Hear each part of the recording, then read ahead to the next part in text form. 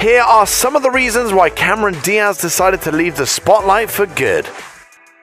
It's no wonder Diaz was ready for a break. At just 16 years old, she signed a contract with Elite Model Management, which has also handled the careers of runway superstars like Tyra Banks, Heidi Klum, and Cindy Crawford. The deal helped Diaz land jobs for ads with top brands while also giving her the opportunity to travel the world. Just a year after signing with Elite, Diaz appeared on the cover of the July 1990 issue of 17 magazine. And when asked about her style, she told the popular publication, I'm definitely into black army boots, which aggravates my father. He'd rather I wear heels. Of course, that's easy for him to say, he doesn't have to walk in them. The then 17 year old also talked about what she saw herself doing in the future, saying, I'll probably model until I'm old and grey. Actually, my ultimate dream is to be a zoologist, maybe go on safari in Africa and study lions. While she didn't mention anything about acting, a career working with animals sounds pretty awesome as well. And now that Diaz is retired from movies, perhaps it's time for her to consider zoology again.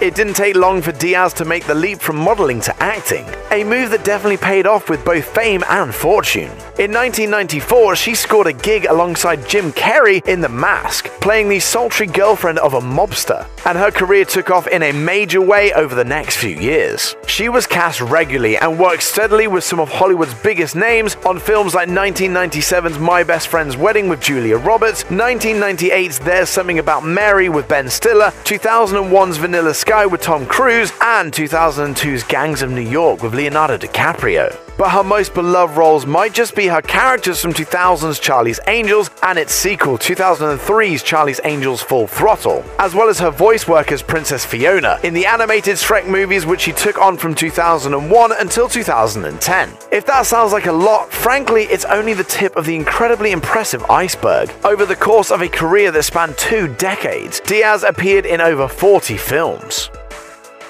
The fact that Diaz has been in so many movies may make it a little less surprising to find out that she's earned her fair share of accolades throughout the years, but that doesn't make her accomplishments any less impressive. Over the course of her career, Diaz has seen her name on the list for four Golden Globe Award nominations one in 1999 for Best Actress in a Motion Picture Comedy or Musical, thanks to There's Something About Mary, and three for Best Supporting Actress in a Motion Picture, which came in 2000, 2002, and 2000. 2003, respectively for her roles in Being John Malkovich, Vanilla Sky, and Gangs of New York. Other industry nominations include three Screen Actors Guild Award nods. While she didn't manage to take home those honors, she has earned three MTV Movie TV Awards, two Nickelodeon Kids' Choice Awards, two Teen Choice Awards, and a People's Choice Award, among many other accolades. If awards are proof of an accomplished career, then Diaz's trophy case certainly shows how much she's done thanks to her time on the big screen.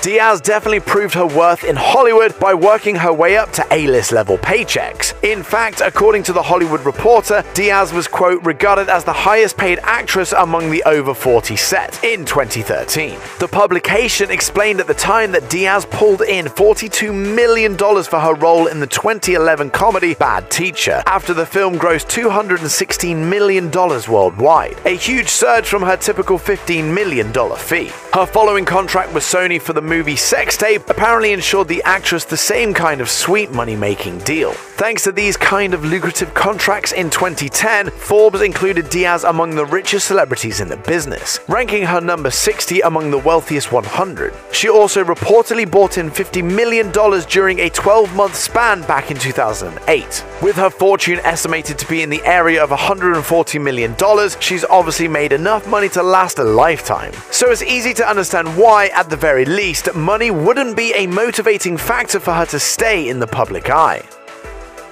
After starting her modeling career when she was just 16 years old and breaking into the big time acting business in her early 20s with immediate success in both endeavors, Diaz had spent nearly half of her teen years and her entire adult life in the public eye. That's why she apparently feels totally fine about stepping back and getting her life in order after being in the spotlight for so long. In August 2019, she opened up about her decision to retire from Hollywood in an honest essay published via InStyle magazine, explaining, I started experiencing fame when I was 22, so 25 years ago. That's a long time. The way that I look at it is that I've given more than half of my life to the public eye. I feel it's okay for me to take time for myself now to reorganize and choose how I want to come back into the world, if I decide to.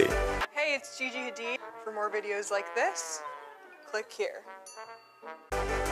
Diaz also stated in her same August 2019 InStyle essay, At this point, I've done so much. I feel fulfilled with the adventures I've sought out in my life. When you think about how much she's done and how much she's earned, while also realizing how long she's spent in the business, it's easy to understand why the star is so satisfied. Her accomplished career is also likely why. When she chose three words to describe herself back in 2008, she opted for hardworking, younger, and transformed. But today she revealed she would go with focused, content, and blessed. She also shared that she's, quote, in a great place these days, which is something Selma Blair seemed to back up at the Oscars Vanity Fair pre party in 2018. According to Complex, Blair said, I mean, she doesn't need to make any more films, she has a pretty great life. I don't know what it would take to bring her back. She's happy.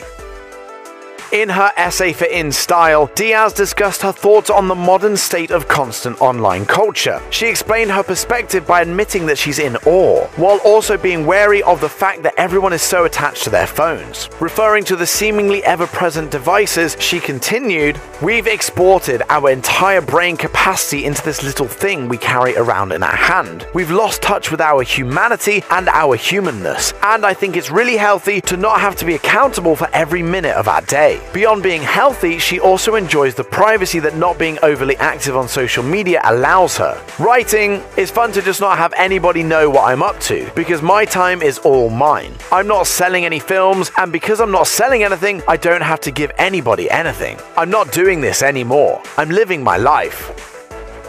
Diaz declared that her 40s are her best decade in her InStyle essay, explaining, You just get to be real with yourself, and you can also make necessary changes because you have the experience of looking back on four decades, looking at patterns and seeing what things really work. You get to let go of giving a shit about anything. You're done, don't care, I really don't. It's such a relief. She went on to discuss what it's like to face the physical changes that aging brings, as well as the lack of control people have over those changes, admitting that she looks back at pictures of herself only to realize how young she really was at the time. She added, Oh, wait, I have hopefully another 40 years of looking back at pictures, not knowing how young I was. I know right now I'm the youngest I'll ever be. I'm a 47 year old woman who's like, hell yeah, I'm fine with it. I'm grateful for every moment I have. She also talked to Oprah about getting older in 2014, saying that she gets, quote, so mad when she hears commercials on TV where they use the term anti aging.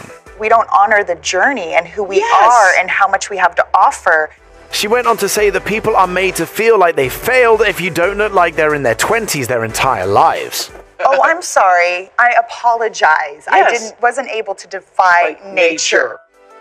When it comes to important investments, Diaz apparently thinks that the people in her life are worth their weight in gold.